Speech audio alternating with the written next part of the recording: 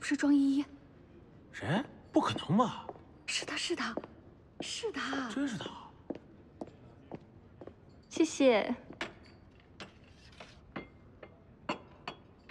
请慢用，谢谢，辛苦了不。客气。因为有陶唐在，你们每一期节目我都有看呢。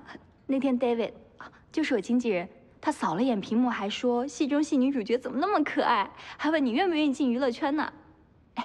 哎，如果你想的话，我给你介绍 David 好不好？他可是圈内的王牌经纪人。嗯，陶唐，你让于小姐来我们电影客串个角色好不好？我真的非常喜欢她，好吗？不是每个人都喜欢当明星的。当明星有什么不好的？于小姐长得那么可爱，一直当幕后不可惜吗？哎呀，你怎么那么小气啊？那么久以前的事情还生气到现在？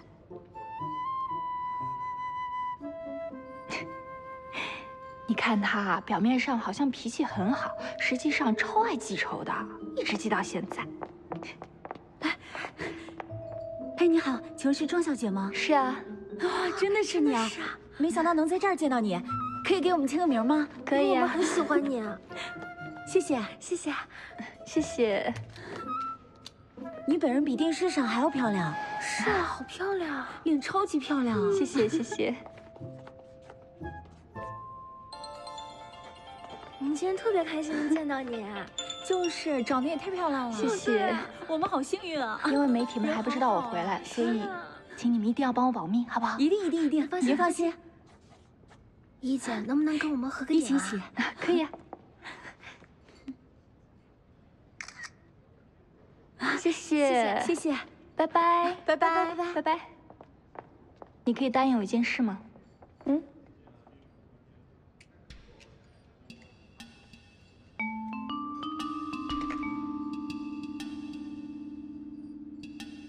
从今天起，陶唐要退出这个节目。为什么？因为他是我男朋友啊。我们之间是有一些误会，但是很快会解决的。不相干的人最好不要涉入其中。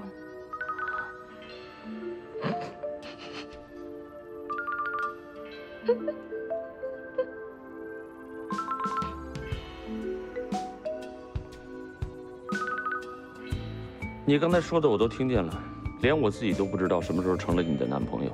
拜托你下次编故事的时候考虑一下别人的感受。再见。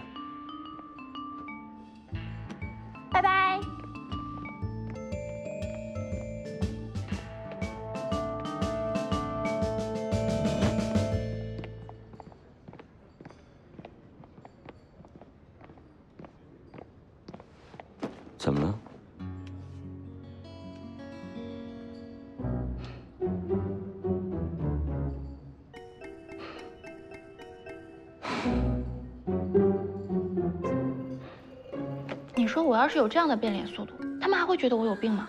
你已经进步很快了，再努努力就可以得奥斯卡了。嗯，差的有地球直径那么远。算你有自知之明。最后一个问题，说，你跟那位庄小姐，我认真的回答你，不是。那你们是什么关系？那你为什么想知道呢？小孩子少管闲事儿啊。走吧。我就是想知道嘛，你告诉我呗。这边说嘛说嘛。小姐，谢谢，辛苦了。不客气。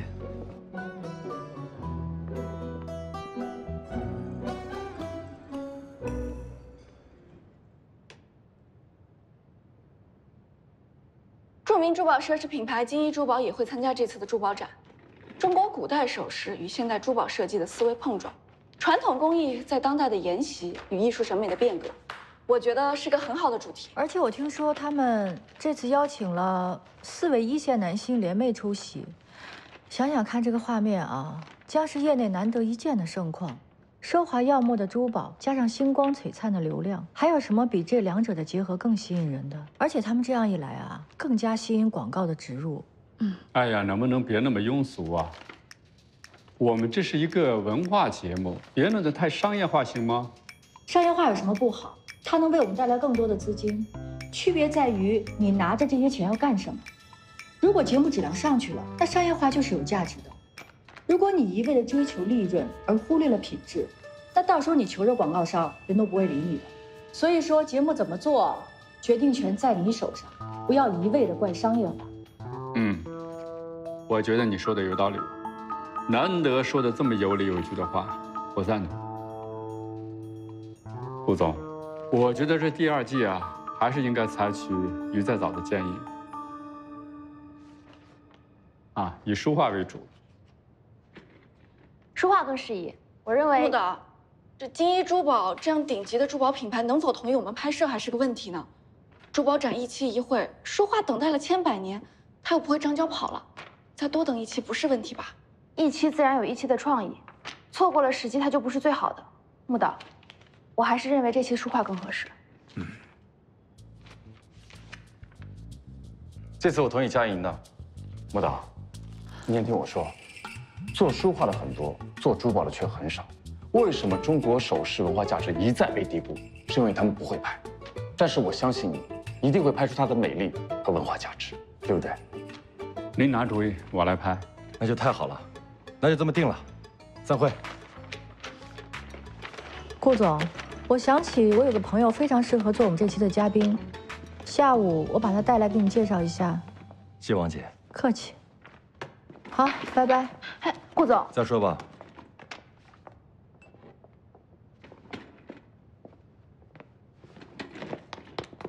哎，这小鱼毕竟是个编导，你这么对他，是不是有点……那又怎么样？佳音说的对，珠宝展很难得的。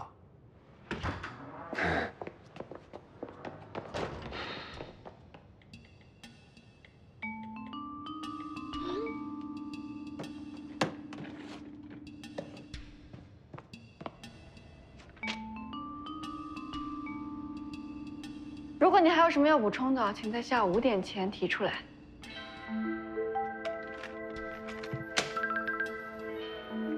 我辞职了。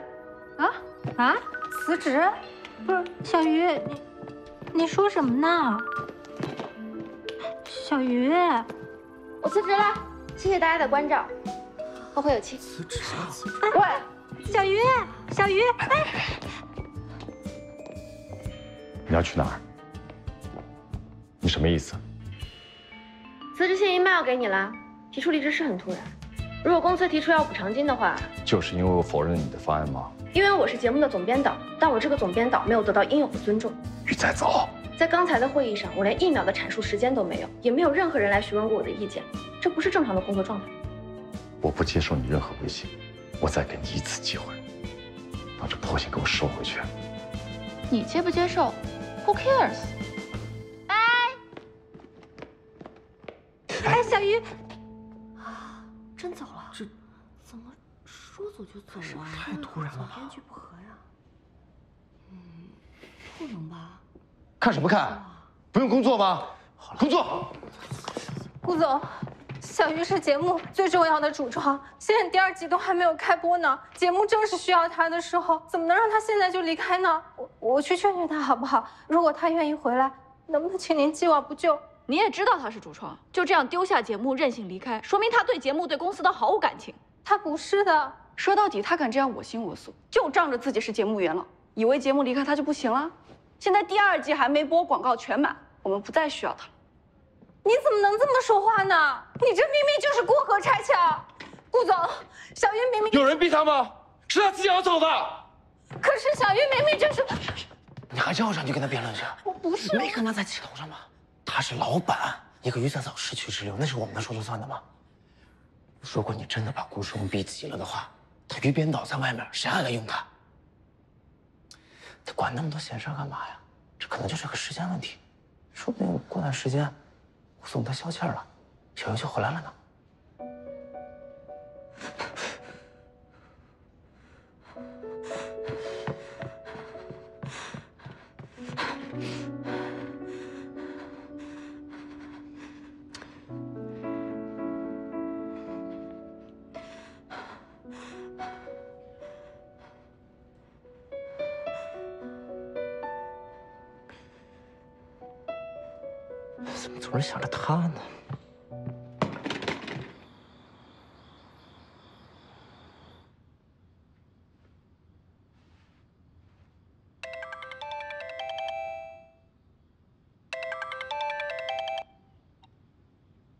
么突然辞职啊？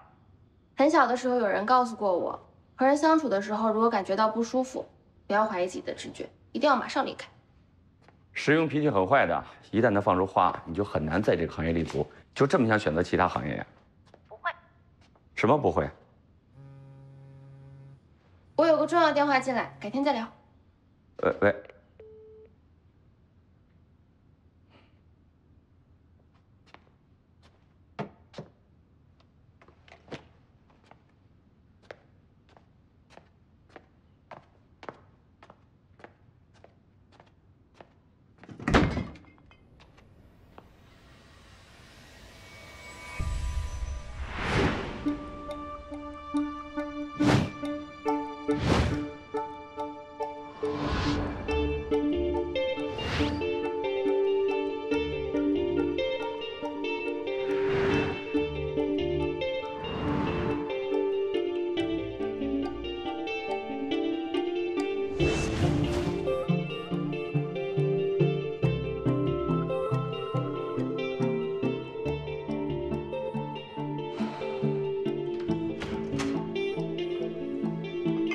喂。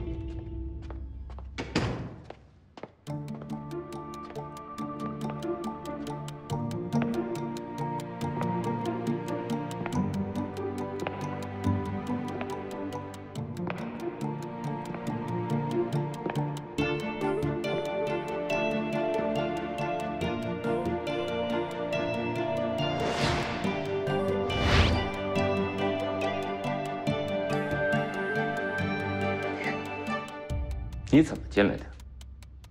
我偶然见过你把钥匙放在门框上，我就试了试，没想到真的在。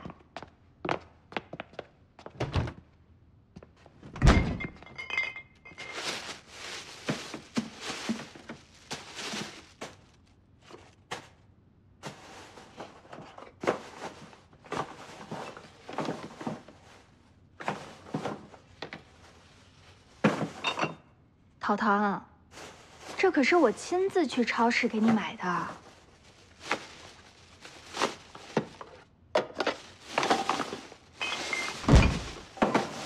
我不需要，请全部拿走。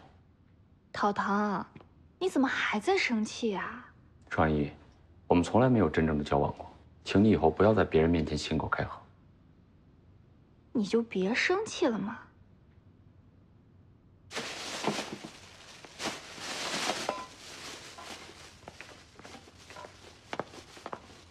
过去的都过去了，我们把不愉快的都忘记吧。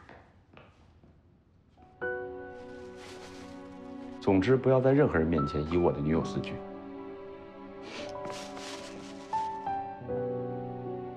我之前跟你说的已经很清楚了，请你不要自说自话。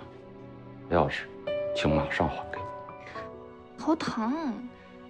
还给我！你从来都没有这样对我说过话。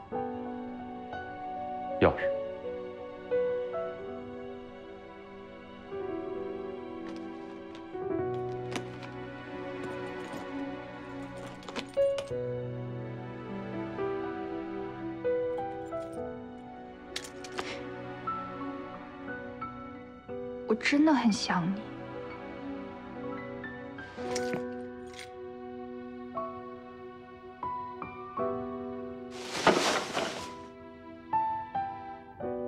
马上离开。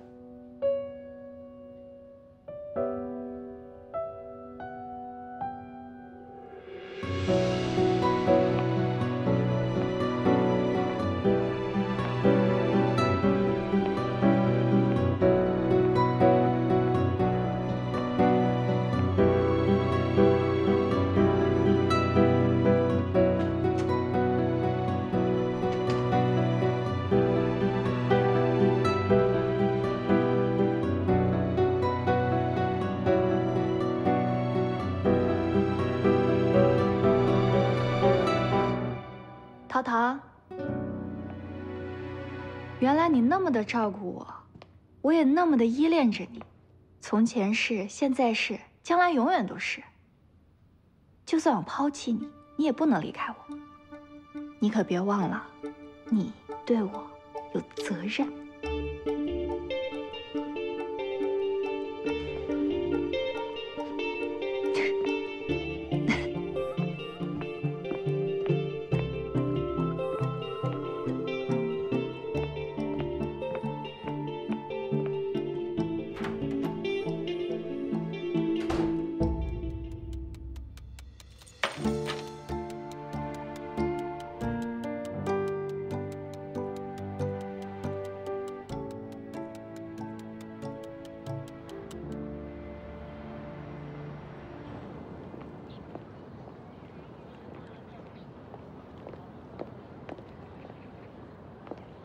石勇哥，你还在为于在早辞职的事不开心啊？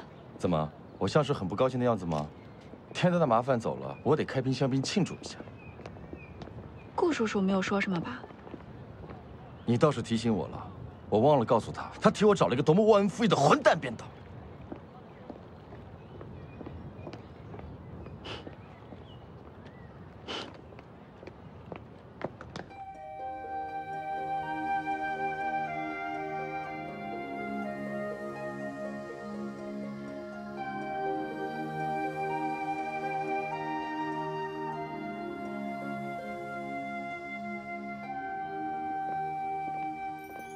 是金一珠宝最年轻的设计师，这次的珠宝展也是他负责。他说今天来博物馆找灵感。安先生，安先生，你可真难约，终于见到你本人了。抱歉，珠宝展有很多准备工作，所以一直没抽出时间与你见面。安，我还有两笔去还完，不介意吧？当然介意啊。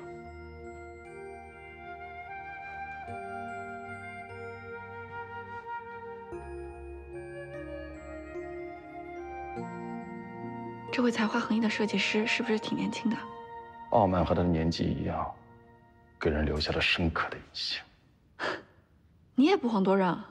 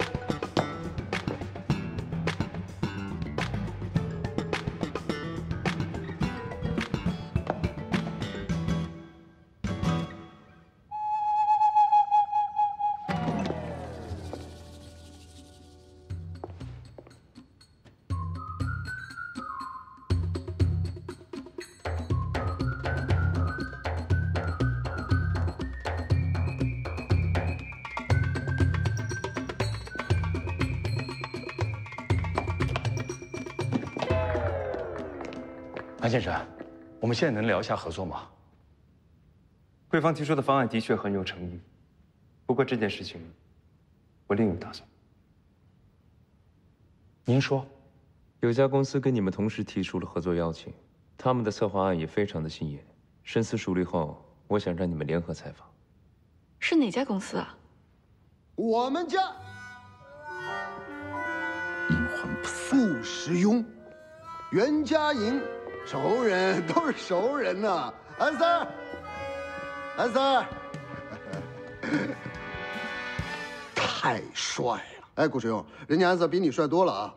感谢安 Sir 给我们合作的机会。真没想到啊，顾世勇，你我两家公司还有合作的这一天。不过江湖就这样，小顾啊，年嫩了点儿，你再多历练两年，你就会发现这个世界上什么事都能发生。安先生，关于这件事情，我觉得你们的节目在不同的平台播出，有利于提升品牌价值。到时候会邀请你们参与宣传活动的拍摄，包括明星们的采访。还有问题吗？我觉得没问题了。方总，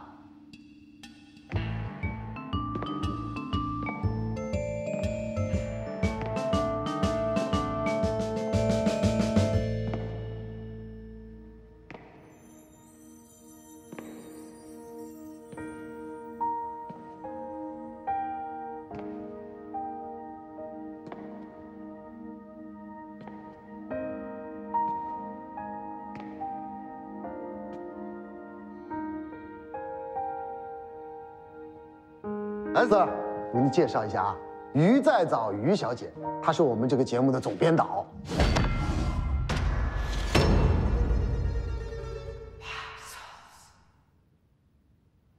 你们之间就不介绍了吧？太熟了。行，我代表小于特别感谢你的培养还有个爱。安先生，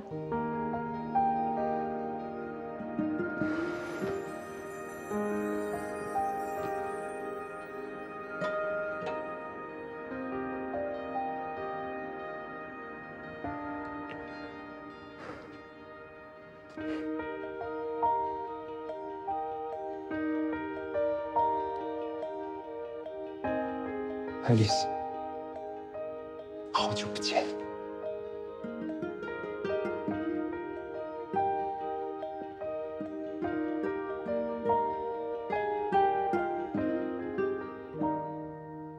行啊，小鱼，这么早就认识安 Sir 了，难怪对方一看到你的名单，立马就答应了。普通朋友，明白，明白，明白，我特别理解。你理解什么呀？放心啊，我不 care 别人的私事。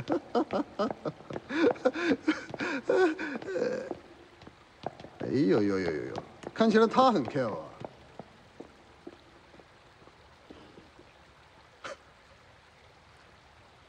我能单独和你聊聊吗？干嘛呀？袁佳音，我们家于再早以前在你们那儿签的合约我可看过，根本没有什么竞业限制的条款。他他想去哪里，他没有义务向你汇报。方先生，你误会了，我是作为朋友想同于再早聊两句。朋友？嗯。啊，行行行行行，朋友，那你们聊啊，我先走一步啊。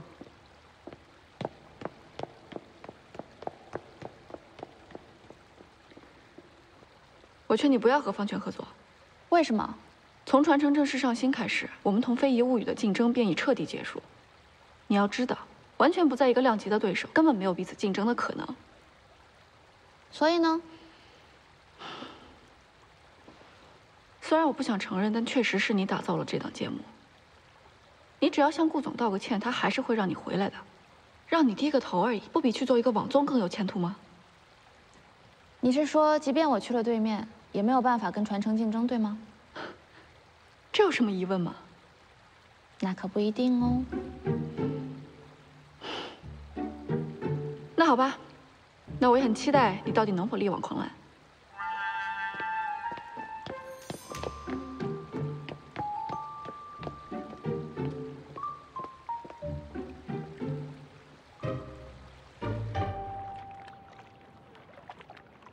穆导，这是今天的通告，全部按您的意思修改好了。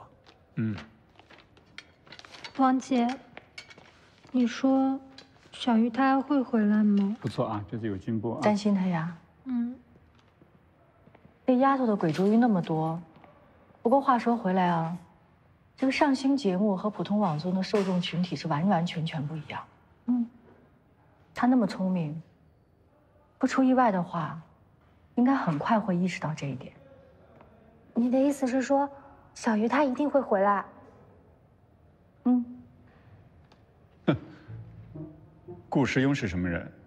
就算鱼再早想再回来，你觉得这公司还有他说话的地方吗？你告诉于再早啊，除非他这次啊能够折腾出什么水花来，否则的话，别想回来。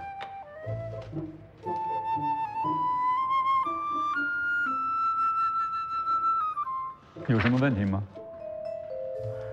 真诚坦荡的表达出你对他人的关怀，会让你自己觉得很没面子，是不是？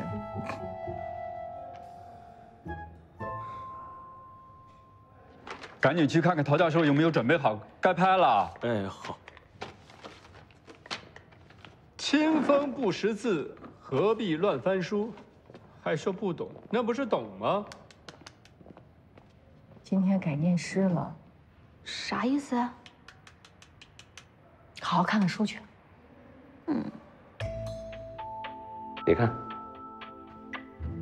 这是花钗，这边呢是玉书。陶唐正在向汪希宁介绍展厅内的古代女性首饰。甘肃玉门火烧沟遗址墓地出土的金耳环以及金鼻影，可能是中国考古发现的最早的金饰，说明在距今约三千七百年的新石器时代后期，中国女性便开始了对美的追求，尽管当时的制作工艺还很粗糙。两汉时期，簪、钗、步摇、华胜、耳当已十分普遍。到了唐代，进入更为繁盛的时期，当时的女性青睐高髻，据说她们的额髻最高可达一尺以上。一唐尺有多高？二十多厘米。合金三十点七厘米吧。啊。三十点七厘米，嗯，大概是这么高吗？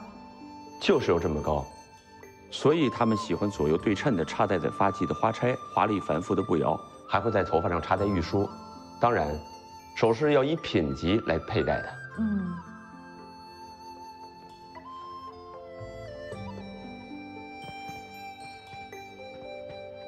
我觉得清代的首饰特别喜欢运用镶嵌哈，你看我们一眼看上去都是珠宝和翠玉。清是以穿珠点翠著称，华丽繁盛已达巅峰。就品类和制造工艺而言，明代的首饰更追求古朴而典雅。看到这些历史留下的记忆，你会由衷的感叹：中国人审美的和谐、统一、雅致是全世界独一无二的。怎么样？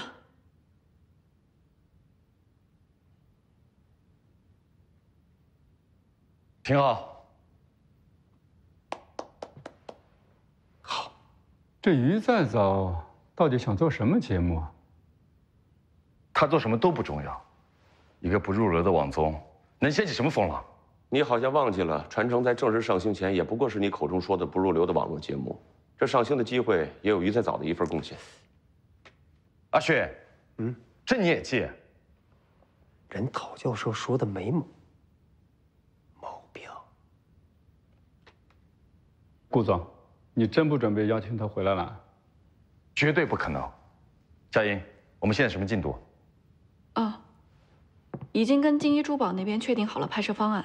为了拿到主导权，这次拍摄全部由我们负责，品牌方那边只负责把控整体的风格和珠宝展示环节。主摄影师，那就还是谢瑶吧。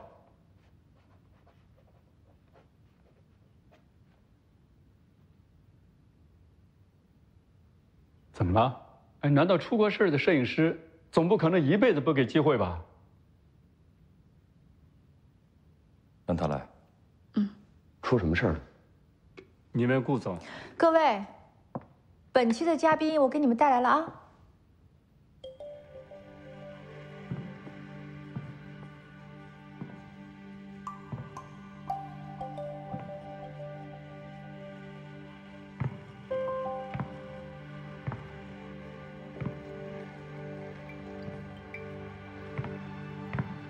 大家好啊！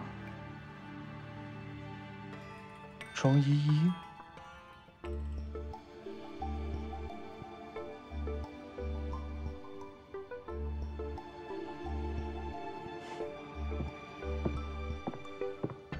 欢迎回国，好久不见。好久不见。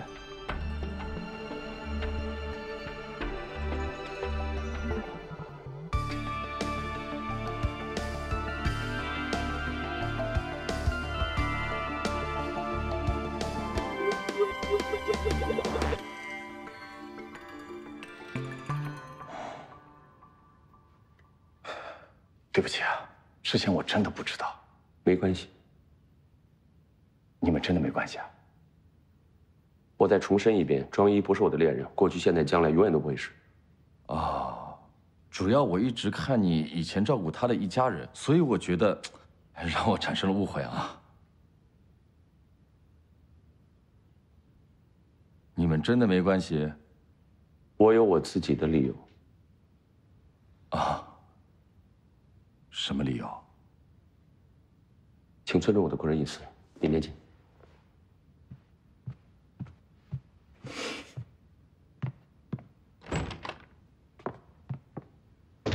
陶教授，嗯王姐，哎，我是不是多事了呀？没有没有，我正好有事问你，你先坐。哦，不用了，顾总。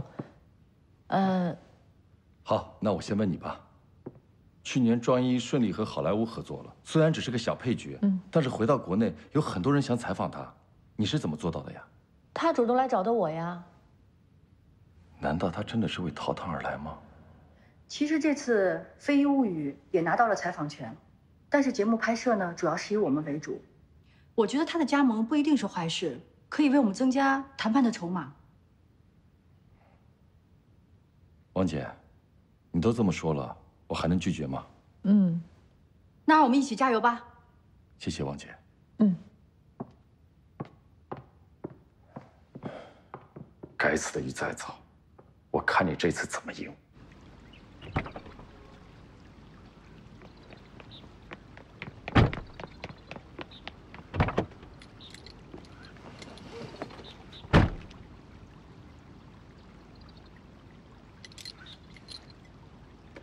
下车。你不想知道像金一珠宝这样的品牌，为什么会同意让一个网综参与吗？我让你下车。真的不想知道啊？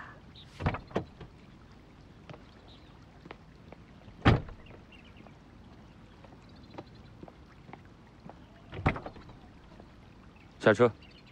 安燕跟于再早以前是恋人关系，你没听见我说的话吗？我说的可是真话。于再早在法国留学的时候，曾经是安燕的同居女友呢。你调查于再早，我只是在关心你。当时安燕的事业发展的很不顺利，于再早就立马抛弃了她，回了国。但安燕对他可是念念不忘，直到《非遗物语》请他当编导，立马答应了个人专访。这可是你们都争取不到的待遇。我跟你之间的事儿，不要牵扯旁人。还有，不要再靠近我的朋友。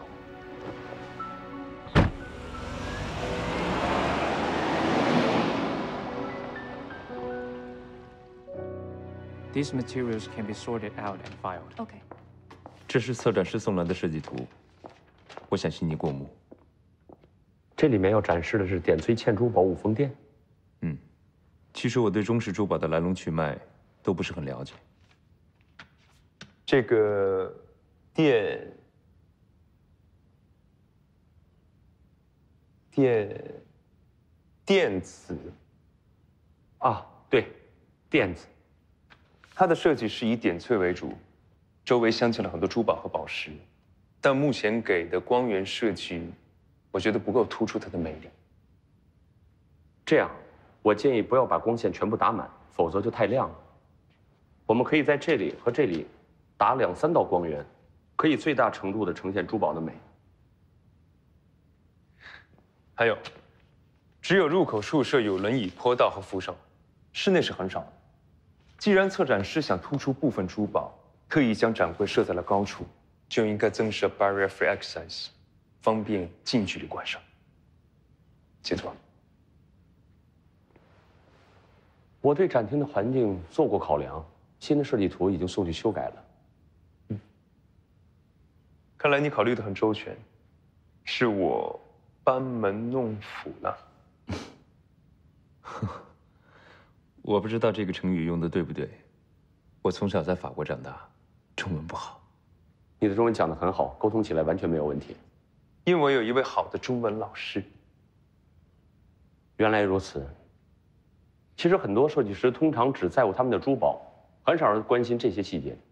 我只是怕到时候会有人提出抗议。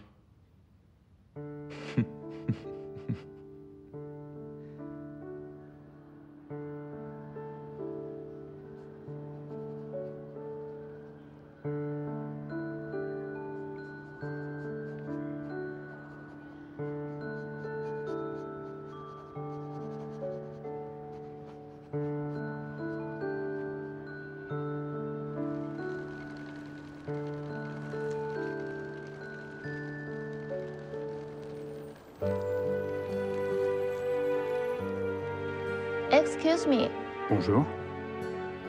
no wheelchair access. Non, non. Non, désolé. The wheelchair Je ne comprends pas. Hmm? Non, non, non. non. upstairs. The wheelchair impossible. Non, non, dé- désolé. Je suis désolé, mais Wheelchair. euh, non, non, non, je ne comprends pas. Non, non. The wheelchair. Elle veut monter à l'étage supérieur, mais il n'y a pas d'accès en fauteuil roulant.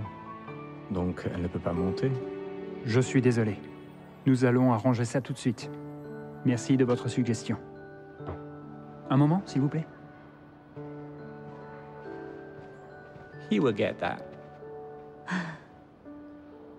I got you.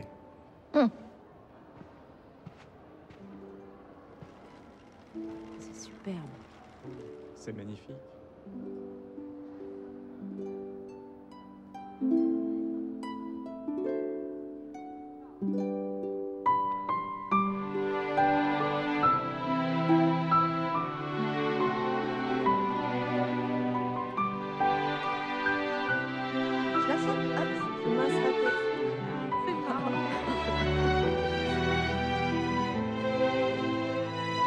想吃冰激凌吗？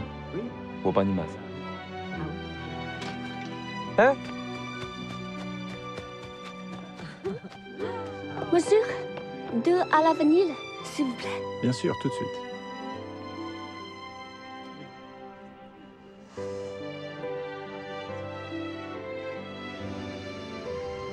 Et voilà. Merci.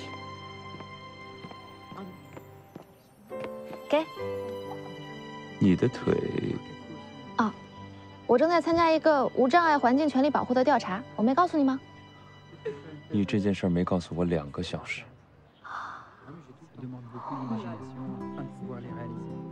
啊嗯。哎，你去哪儿啊？爸！别跑啊你！你回来。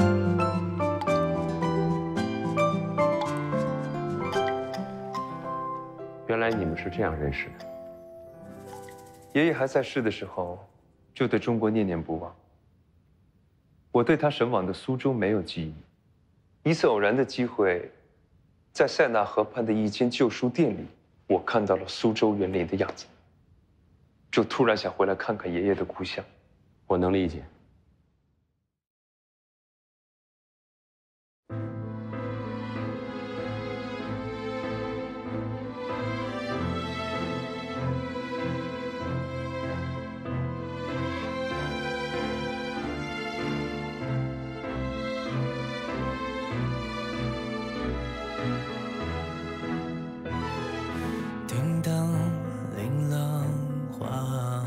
色香，灯将玉浆钟表江，此去阿放满江，各似阿顺阿香，同饮这一条江，各泛出几层浪，分妆如霜，披披望，明堂徐香为红墙，中影啊有良方，飞那句敦煌在故人的地方塑造谁的模样用一生唱一出千古绝唱让专注江面